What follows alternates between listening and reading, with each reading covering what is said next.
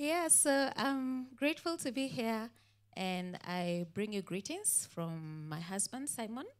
He traveled to Kitale, where he is hosting, um, facilitating a men's conference all the way there. You know, that is what his heart beats for. And so he's, it's very difficult for him to pass up an opportunity to be ministering to men. So he sent me with greetings and said, See you next Sunday. yes, so he will be here next Sunday. Um, would you allow me to pray as we share the word of God today? Let's pray. Father, in Jesus' name, we want to thank you for what you have to say to us today. We pray that you'll open up our hearts to receive from you and want to ask that you um, will cause us to comprehend and to receive and to embrace and to run and be transformed by what you have to share with us today. In Jesus' name we pray. So I want to, to start by reading um, uh, Proverbs 31. And I know that uh, a lot of women don't like this chapter. They hate it.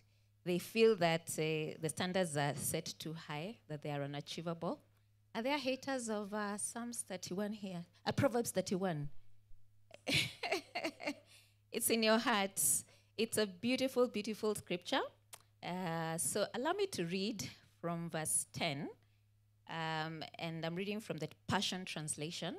Uh, it's uh, and the title of this particular top, uh, chapter or segment of the chapter is the Radiant Bride. Uh, so it says, Who could ever find a wife like this one? She is a woman of strength and mighty valor. She is full of wealth and wisdom. The price paid for her was greater than many jewels. Um, her husband has entrusted his heart to her, for she brings him the rich spoils of victory. All throughout her life, she brings him what is good and not evil. She searches out continually to possess that which is pure and righteous. She delights in the work of her hands. Verse 14, she gives out relevant truth to feed others. She's like a trading ship bringing divine supplies from the merchant. Even in the night season, she arises and sets food on the table for hungry ones in her house and for others. She sets her heart upon a nation and takes it as her own, carrying it within her. She labors there to plant the living vines. She wraps herself in strength, might, and power in all her works. She tastes and experiences a better substance, and her shining light will not be extinguished, no matter how dark the night. She stretches out her hands to help the needy, and she lays hold of the wheels of government. She is known by her extravagant generosity to the poor for she always reaches out her hands to those in need. She's not afraid of tribulation, for all her household is covered in the dual garments of righteousness and grace. Her clothing is beautifully knit together, a purple gown of exquisite linen. Her husband is famous and admired by all, sitting as the venerable judge of his people. Even her works are righteous, of righteousness, even her works of righteousness, she does for the benefit of her enemies. Bold power and glorious majesty are wrapped around her as she laughs with joy, as she laughs with joy over the latter days. Her teachings are filled with wisdom and kindness. As loving instruction pours from her lips, she watches over the ways of her household. She meets every need they have.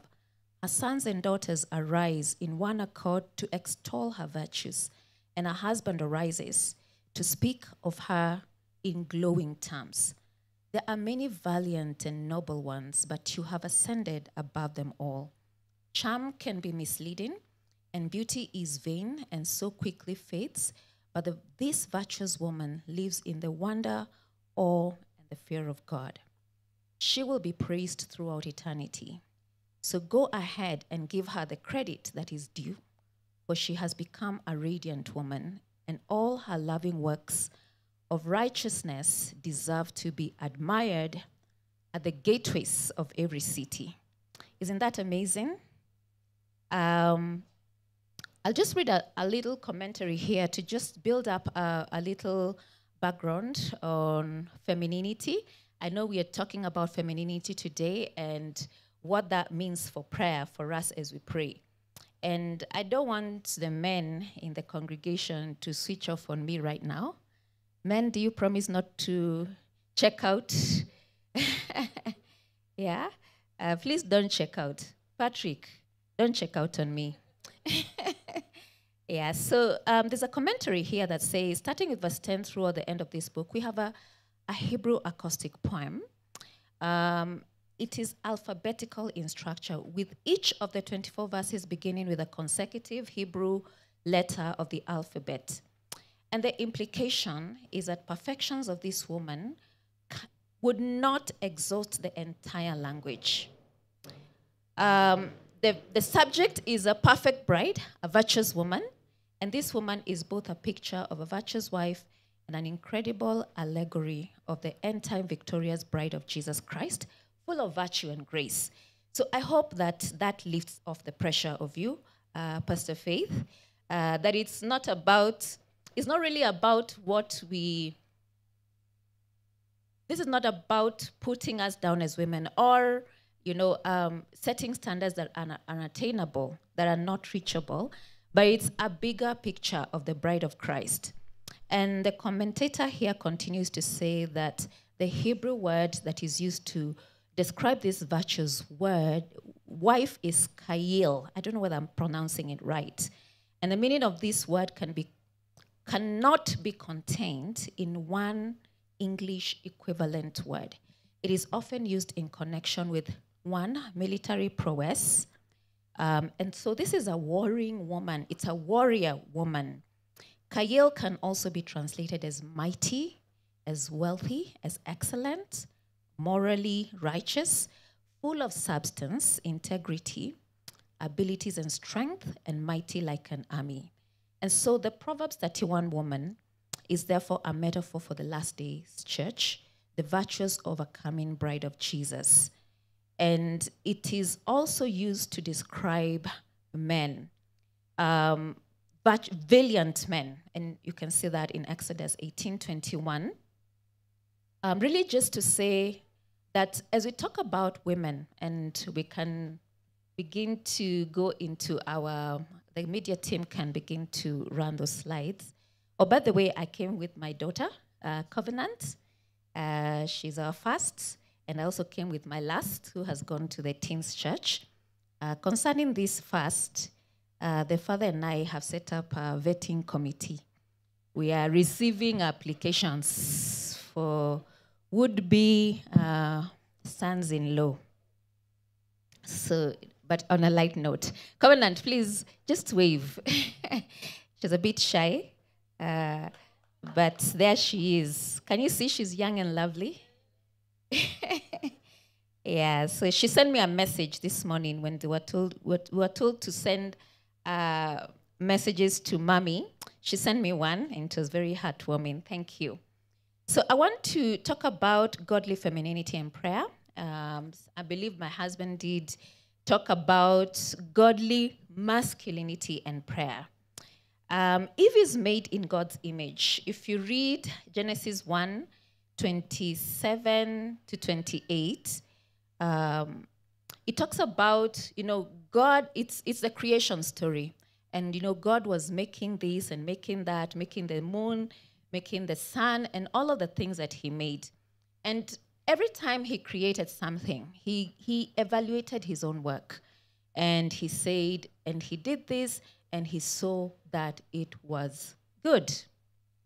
But there is only one instance where the Lord proclaims his own assessment of what he was doing was that it was not good. Okay? And he said, It is not good for man to be alone. And so um, it is not good for man to be alone. And so he went ahead and made Eve. And when he made Eve, who is referred to as Ezer, the original word, Hebrew word for Eve is actually Ezer. Uh, and now that our brother talked about uh, the Man Enough program, we have the Woman Enough program, and we call it the Ezer program. I'm sure that uh, we'll be able to see how that can be availed for the women here as they study, as the men do the Man Enough program. Then we can do Ezer. So Eve is referred to as Ezer. Um, and Ezer uh, is also a, is a Hebrew word that has over a hundred references in the Bible. Um, the, the, as, as a root, you know, words that are derived from the root word Eve, there are over a hundred um, references, including the word Ebenezer. Ebenezer. So the last word Ezer is help. Um, when we read in John 14, and Jesus is leaving and saying to his uh, apostles that I'm going, but I'm going to leave you a, a helper. It is the same word, Ezer, which is uh, refers to a woman, which also refers to God. And so Genesis chapter 1, the creation story, you know, God says it is not good for man to be alone. And so God speaks to himself. They have a meeting. Um, God had uh, Father, Son, and Holy Spirit. And they say, Let us make man in our likeness. And it says, male and female, he created them in God's image and likeness. And so when we hear the word helper, we think about that word as something that is a bit low in class, you know. Um, we, we don't receive it as a word that is powerful, that dignifies us as women, but it is actually a powerful word. And we say that, you know, um, humanity or humankind is like two pieces of the puzzle. So both men and women together complete the full expression of the image and the likeness of God.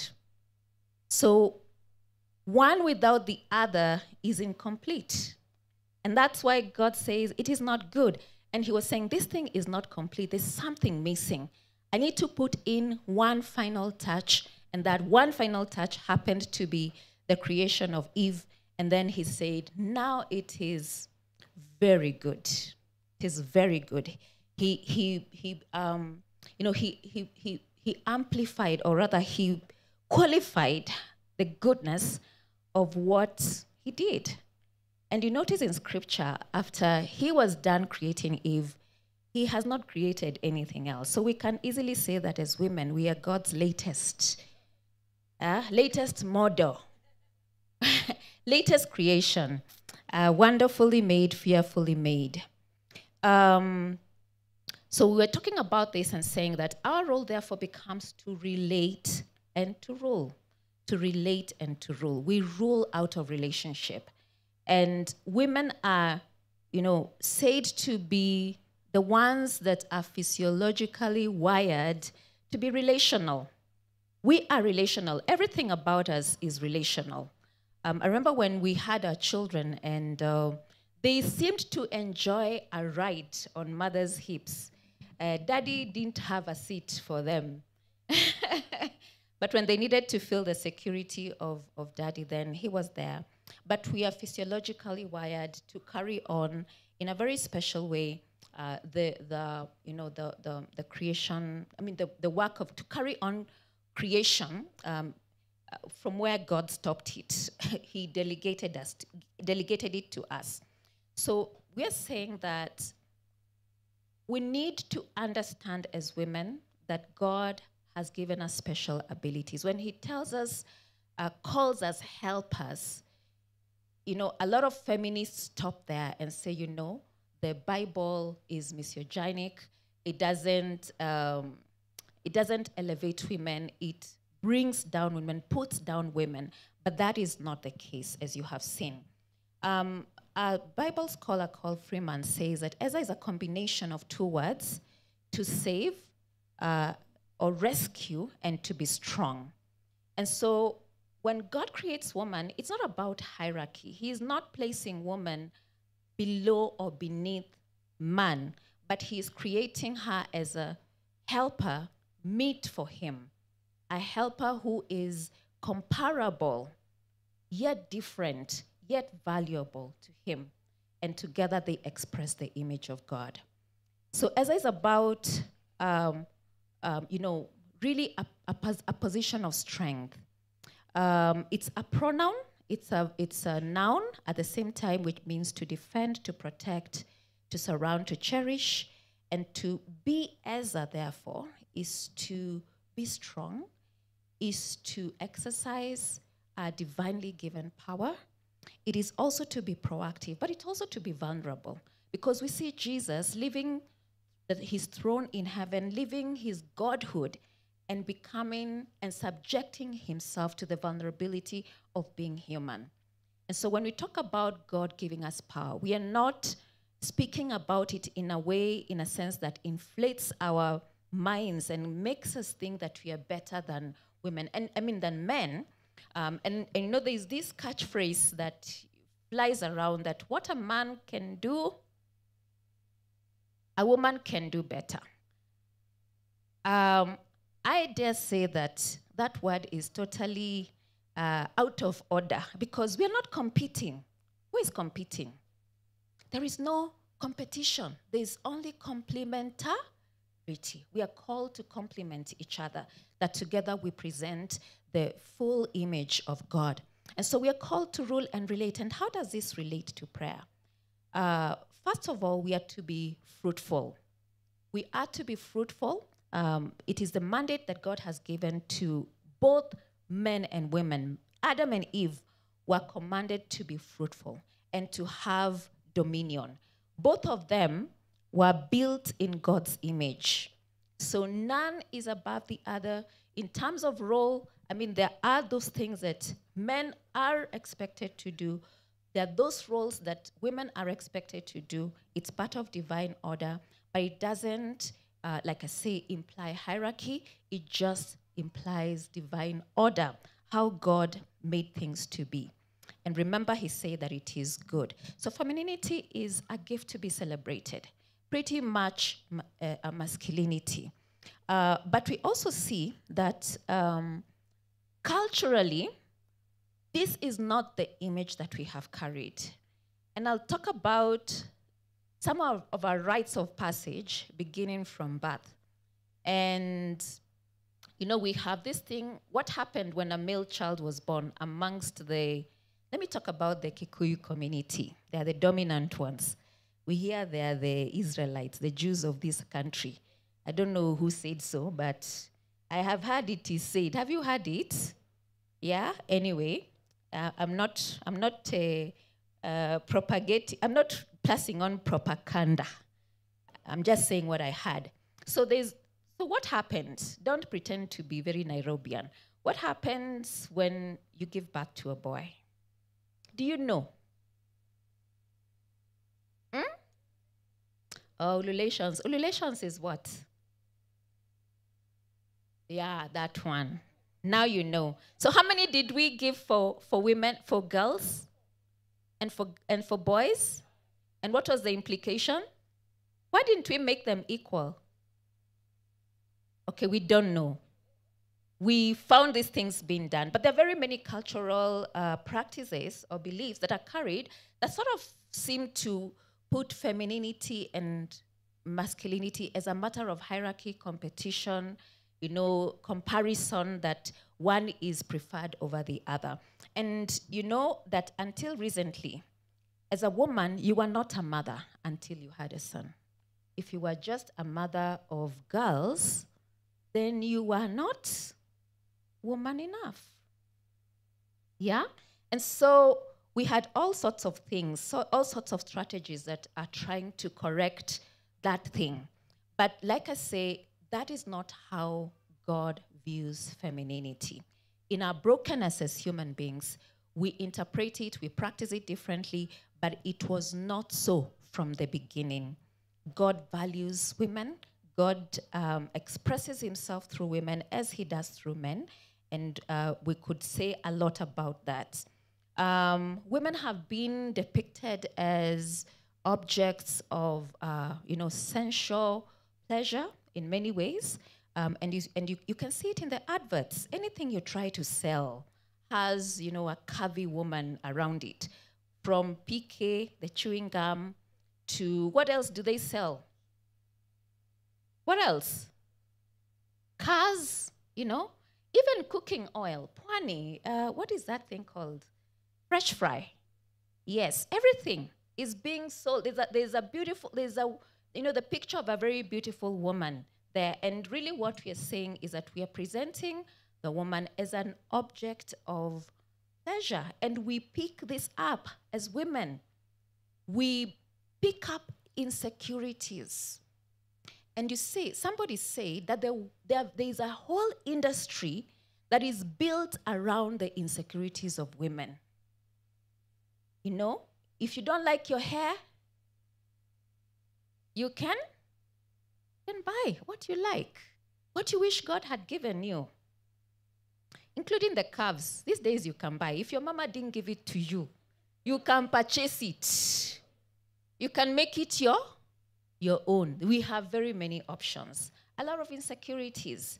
And they say that, you know, the day women will stand as secure, a lot of people will go out of business because we'll stop using some things. And I'm not attacking you. Please go ahead and use what you're using freely. I'm just saying that there's a lot that we have refused to accept. There's somebody who has defined a certain standard of beauty for women. You know, the right size of hips, the right size of the, bu- uh, the bust.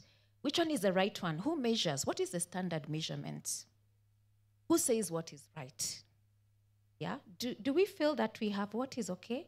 Or are we forever trying to enhance it? And so I tell women the right size of whatever you have is what you have, is what God made. And He said it was very good. All right? It is very good.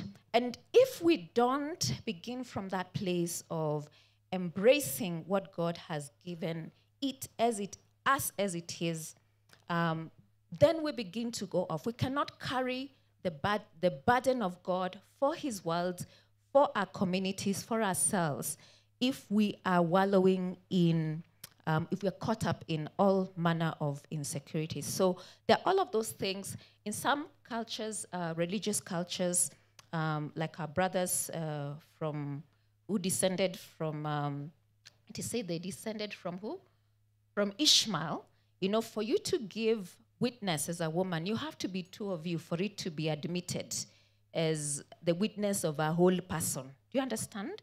So, those are some of the ways that the enemy fights femininity as God created it to be. But I, I want you to take it from his word today that God was very intentional. And when he speaks about the bride, when you talk about the Proverbs 31 woman, we're not just talking about the female species of humanity. We are talking about the bride of Christ. And as a bride of Christ, we all, men, men and women, we all are the bride of Christ. We all carry that identity as a bride of Christ. And this person, that this husband that is actually being praised in um, Proverbs 31, could easily be, uh, you know, a, a, a type of Christ that is being celebrated out of the Old Testament. And so we want to talk about then the four faces of a woman. First, we see a woman as a servant queen because we have power. If man is create man is created to be king, then who is a king without a queen? Is there a king without a queen? No. There isn't. So there are queens, but like we said, queen queening is about being strong, having the power to help. The person who helps is not a weak person. Isn't that so? Think about the Holy Spirit. He is powerful and he bears the name helper as we do as women. And in Romans 8:26 they say that sometimes we don't know how to pray, but the Holy Spirit groans and prays within us with language, a language that we cannot understand.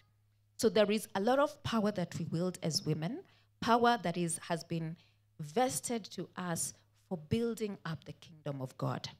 And we need to carry this responsibility with the seriousness that it deserves. So we are called to be queens. We are called to be women of integrity. In Proverbs 31, uh, verse 10, we read it. I mean, it talks about who could ever find a wife like this one. She's a woman of strength and mighty valor. She is full of wealth and wisdom. She is rich. She is in a position to lift others, to help, to, uh, to, you know, to remove burdens, which is what prayer is about.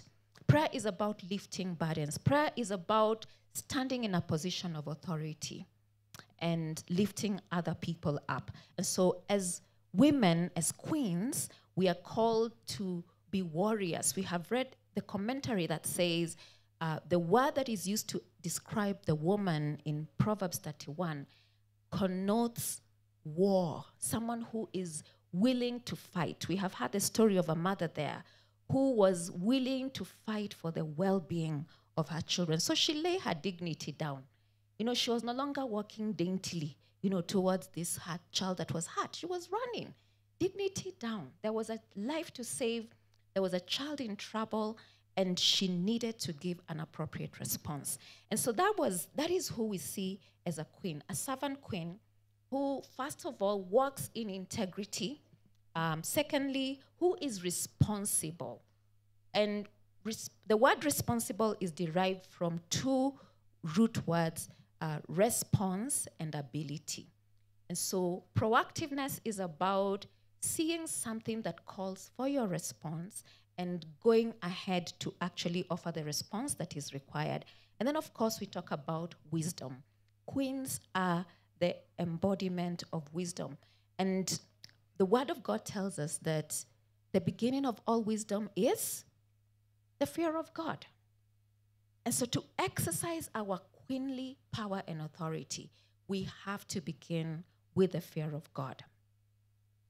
And I know that we are talking about femininity. And by the way, I've seen some very nice things here. I hope the pastor can get to pick a few and, and go home with them. Her choice. Um, that is besides the point. I'm getting distracted. Uh, but uh, so, so the four faces first is a queen, a servant queen. Secondly, is a dedicated nurturer. As women, we are nurturers. As women, we receive life, we receive seed into us, single speed, microscopic. And nine months down the line, we give forth life that has been multiplied enhanced, perfected. And so when you talk about naturals, I don't want to just think about being a biological mom. Being a nurturer is about enhancing, lifting, adding value. And whether you are a biological mom or not, there are numerous opportunities for you to add life to your spaces, to multiply what you're given. Um, and so, of course, uh, motherhood is one of those very express ways where we experience and practice our nurturing uh, um, manner. But like I say, it doesn't necessarily have to be confined to being a biological mom. There are very many things that you can give life to and enhance. So, what does a dedicated nurturer do? Um, like I say, they support, mothers support, mothers root for their children, uh, mothers care, and, and we nurture life. We teach. Mother is first educator.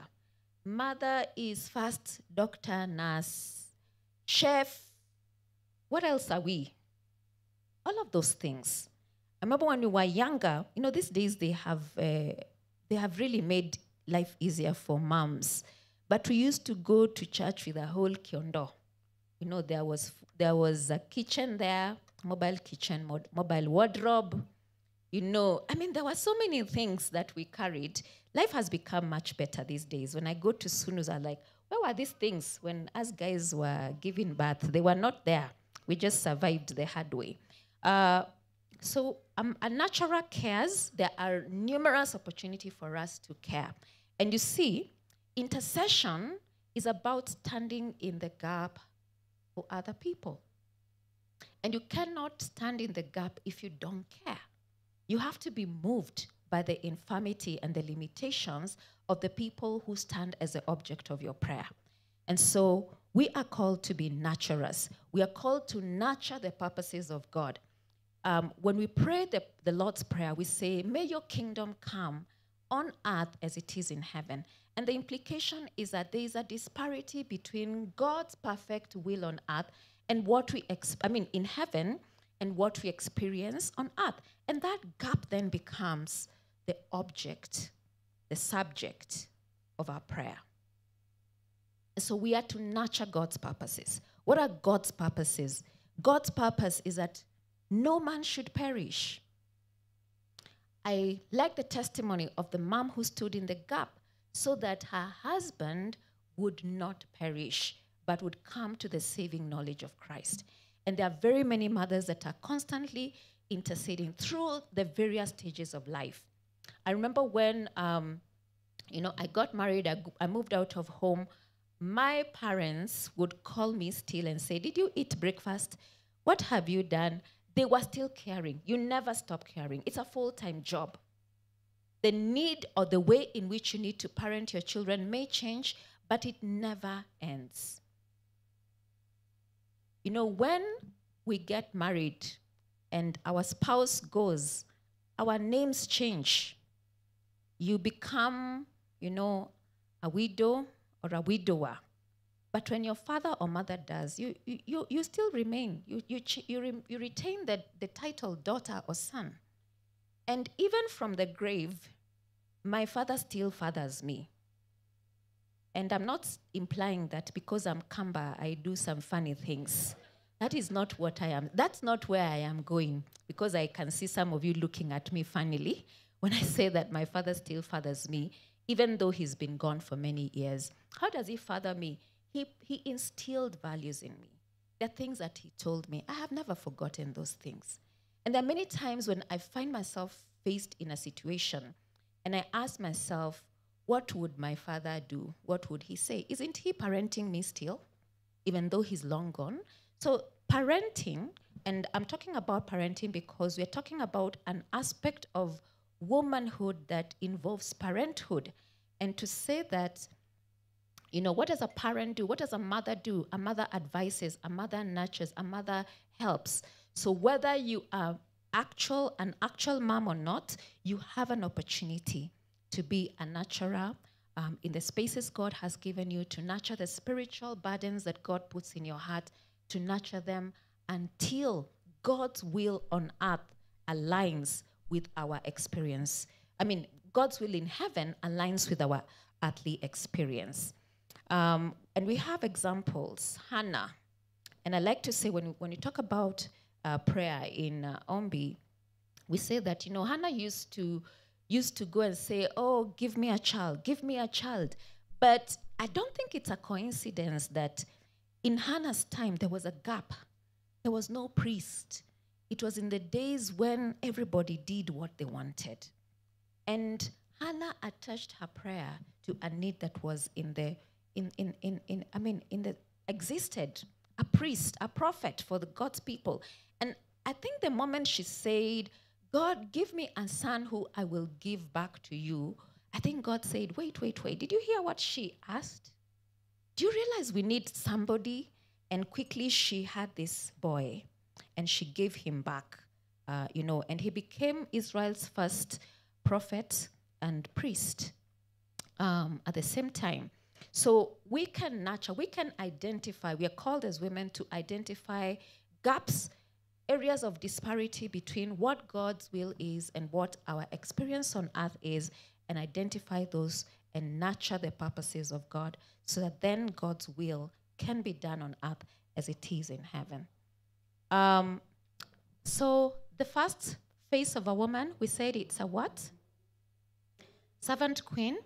Second is dedicated nurturer. Um, the third one is a loyal wife or mate.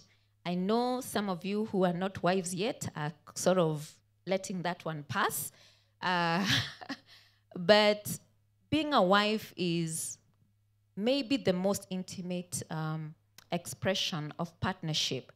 But like we're saying, what do what do wives do? What do partners do? They are committed we have opportunities to be committed. Again, intercessory uh, prayer requires that we give a commitment, that we are committed to seeing God's will come on earth as it is in heaven.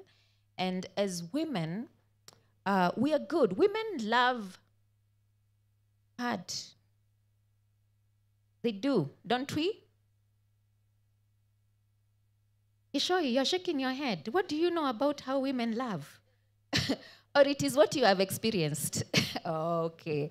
For a moment there, I was thinking something was happening. Yes. All right. Um, so, yeah, women love hard. And so we say you, you need to love fast wisely before you love deeply, because we also have the capability of loving very foolishly as women.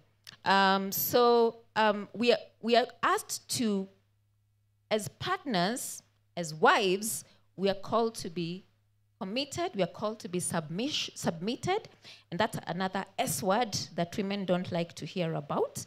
But Jesus did submit to his father.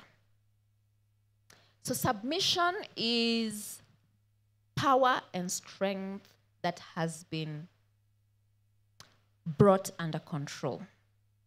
He willingly submitted to his father. It didn't make him less a part of the Godhead, but he knew in this season, this is who I need to be. And everywhere he went, when, when Mary you know, was asking him to turn water into wine, he said, Wait, I only do what my father does. It was not his time. He was waiting to see what his father was doing so that he was submitted to it. And so we are called to be submitted.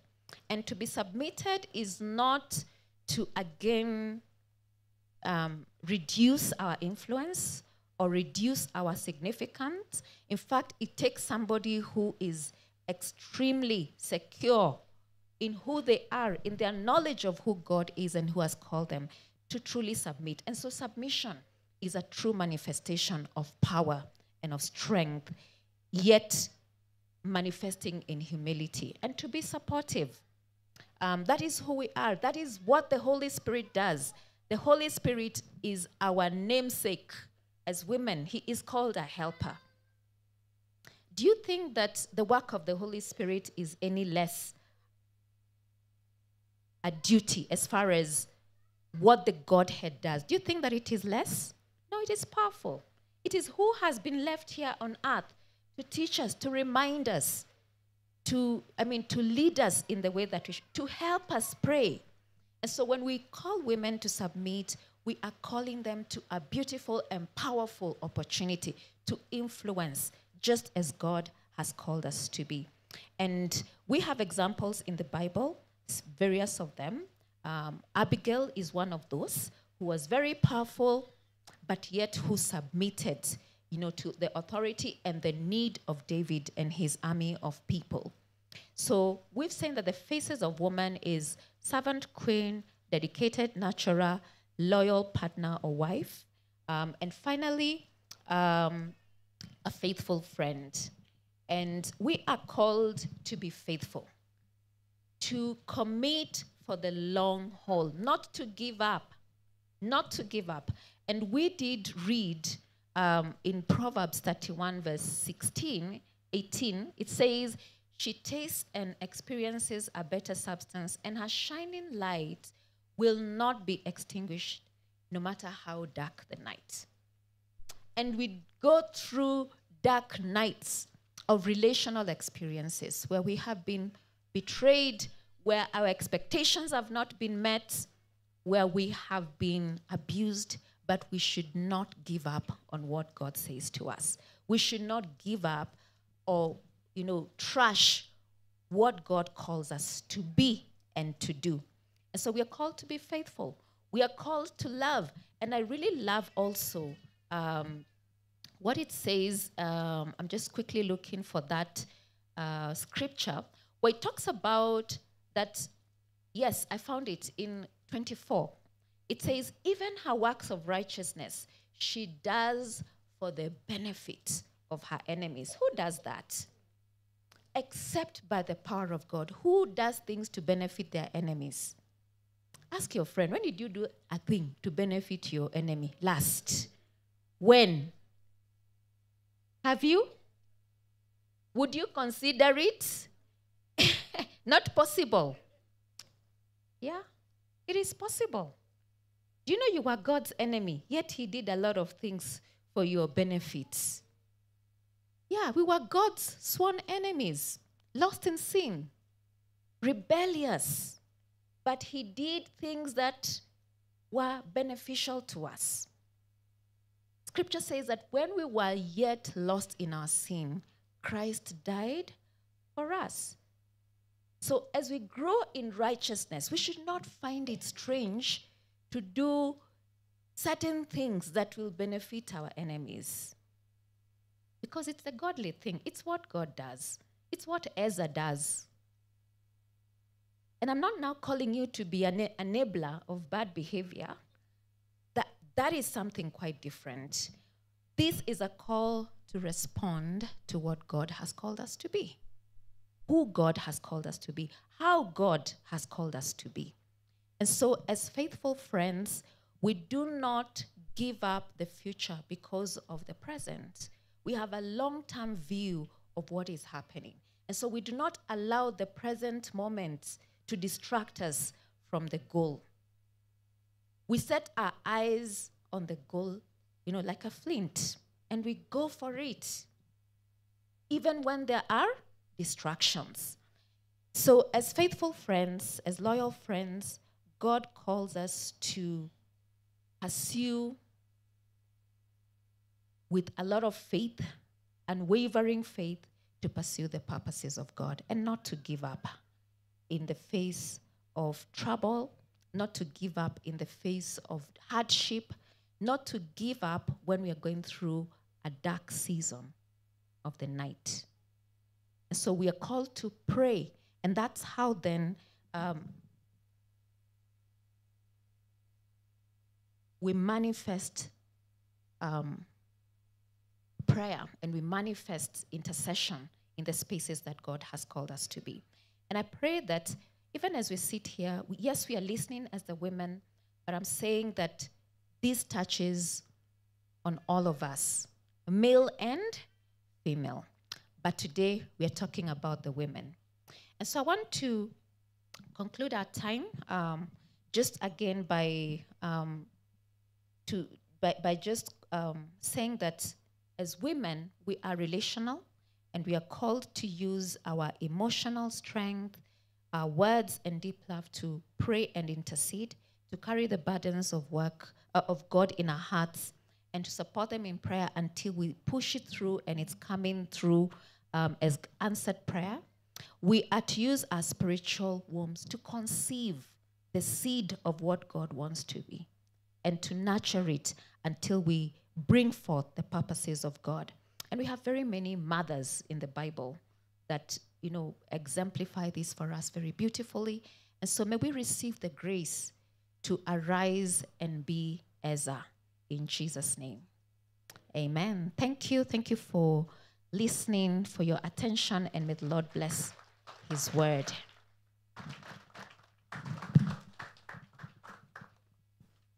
Thank you so much, Pastor Sophie, for those affirming words. When we were asked to share about our moms, I turned to Pastor Sophie and she told me her mom is 91 years of age. And um, she and I, I just thought, goodness, so you have such nice genes, so you're okay for a while. And and she said, you know, one of the things that her mom is going through is, you know, the old age that comes with many things. But one of the resolute spaces she has stuck as a mom is a place of prayer. So she prays about everything. Lord, help me sit down properly. Lord, help me stand. Those are real prayers. This morning, I want us to pray for the women in our congregation. Earlier this morning, we had come in prayer for the men and we called on the heavens. From our sermon last Sunday, for the men in our midst, our husbands, our fathers, our brothers, our sons, just the place of warfare that it, it has felt for the men, men amongst us. But this morning, we want, want also to affirm the women and the challenges of womanhood and, and what it means, therefore, to live out your femininity in the way God has asked of you. this book was given to me as a gift, and I thought I'd love to share this with the women around us for two things. One, I started filling it out with my mom. When I visit her, I had told her, Mom, we need to be filling out this book because I want to hear your story. I want to hear your journey because somehow it will affirm me in my own journey and the challenges you went through. So, one of the first pages says, It says, Mom, tell me as much as you can remember about where you were born. Was it raining? What are your earliest memories? What did your feet wear? What did you see? What did you hear when you were young? What was your what is your first memory as a child? Did you fight with your siblings? Who are you closest to? Who did you play with? What did you play with? Who are your neighbors? And it documents a mom's journey and allows for this gift to be passed on. Then I thought I need to give this to my children and for them to ask me my story. Except my children are boys. And their attention is a little challenging. Maybe that's what we should pray. So maybe I should just write my own story myself and I buy a second book because I'm not sure that, I don't know, how many men here will sit with their moms and look at them shaking their heads. God is watching you. Why wouldn't you want to document the truth of a woman, a godly woman's journey who has reinforced you? But that's a challenge. So, ladies and gentlemen, please pick a book and document your mom. And if she, they're not here with you, try and ask the aunties and the people around. Do you remember my mom in a particular way? What can we, in passing on some of these affirming godly women in our lives to the next generation, how can we document this? Because it is such a gift to document the journeys of our moms. I'm going to ask all the men in, um, all the women in our midst to please stand up. As a woman, God has called you to live out your femininity fully. And I know in our society there are many challenges that we face as women. Pastor Sophie has just gleaned a little about that. We are seen in a particular way, we are perceived in a particular way, our workplaces are challenging. Um, and somehow, perhaps we hold back, perhaps we need to completely surrender um, who we are as women before the Lord, and then ask Him to continue affirming us in our weaknesses and in our insecurities. But also remember that these things that Pastor Sophie has brought to us are our godly identity, and we shouldn't hold back for them. I'm going to ask um, Dr. Walter Jaoko to please come and pray on behalf of the men. I know you have daughters and you have a wife and, and all the things you have desired for the women in your life. We want your blessing as a representation of the men here. So if you're a man, please just stretch your hands out to the woman next to you or behind you or wherever they are, just as a blessing over the women in our midst, that God would hear us as we work as partners together. So let's pray. Uh, dear Heavenly Father, we come before you this afternoon with gratitude in our hearts for who you are and who you mean to us. We thank you for the privilege of being called your children. We thank you for the sacrifice that you gave of your Son, Jesus Christ, that we may have a relationship with you through the forgiveness of sin. So today, Lord, we just want to thank you for the word that Pastor Sophie has shared with us around womanhood. We thank you for the privilege of relating to women as our mothers, as our sisters, as our wives. We thank you, Lord, for the opportunity that you've given us in these relationships. We pray now, Lord, for the women standing and for the ones that uh, have had this sermon uh, online, we just want to bring them before you. You know their inner self, you know the struggles that they go through, you know the joys that you provide to them, you know the experiences that they pass through each day. And we just want to commit them, Lord, into your hands. That they'll be not just hearers of the word that you've shared with us this uh, day, but they'll also be doers of it. That they'll be encouraged by the words that uh, you've given us through uh, Pastor Sophie. That they are strong. That they should not uh, view themselves as weaker partners, but that you created them to be helpers, which does not mean in any way inferiority, but a source of strength.